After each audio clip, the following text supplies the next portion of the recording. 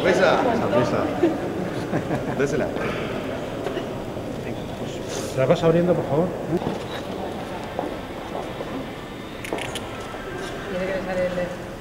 Y ahora tienes que coger una de ellas. Mira. No, no, no, de ahí, de ahí, ahí. Papel un solo papel. Un papel.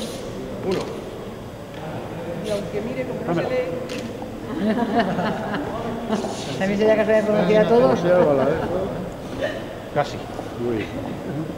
José Marco Vitar. Otra, otra. El establecimiento es de. Bueno, pues el ganador es José Marco Pitar. Y el, parece ser que el comercio eh, donde echó la boleta del, del concurso ha sido Benotac en las puertas de Murcia. Ese es el primer ganador. Se están sacando otras urnas, de, otras urnas papeletas de suplente por si no localizáramos a este señor. Pero vamos, en principio el ganador es este.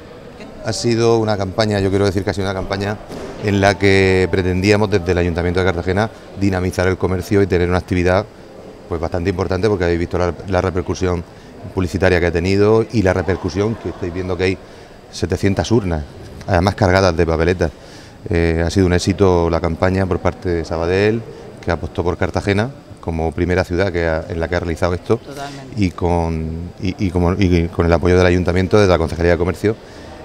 Hemos dinamizado el comercio en el mes de, de noviembre, que es un- siempre un mes complicado, y, y la verdad es que hemos tenido, creo, creo que estamos teniendo un éxito bastante importante con respecto a la participación y, y a la colaboración de todos los ciudadanos que, que se han, que han yo creo que ha participado prácticamente toda Cartagena. ¿no?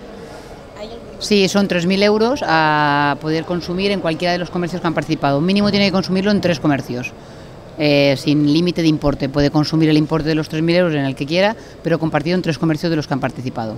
En un día.